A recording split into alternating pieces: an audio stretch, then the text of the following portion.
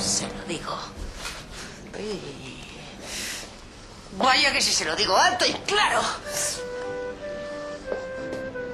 Sí, sí, sí, sí, sí, sí, sí, la verdad por delante. Y que choquen los planetas. Y que sale al sol por donde quiera. Generalmente por el este.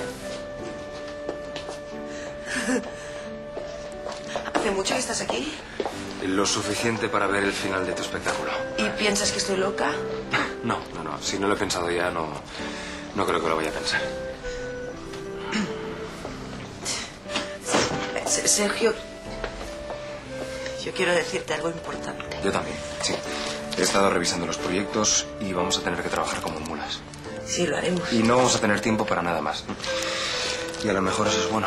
Claro, sí, sí, todo eso de que el trabajo dignifica, paterín pum can, quin, quin, Eh, pero yo sí, sí, sí, pero no va por ahí, no va por ahí. Lo que quería decirte es que ahora nos tenemos que centrar en esto.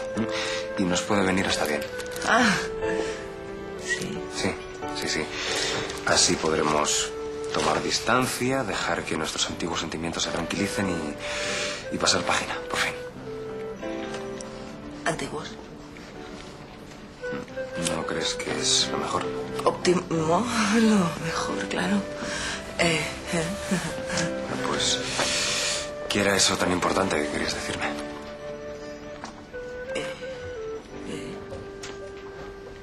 lo mismo que has dicho tú. Claro.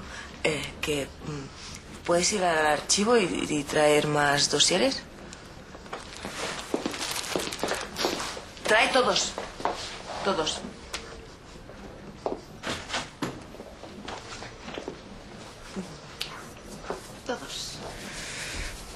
Trabajar. Es antiguo. Lola se quedó absolutamente descolocada.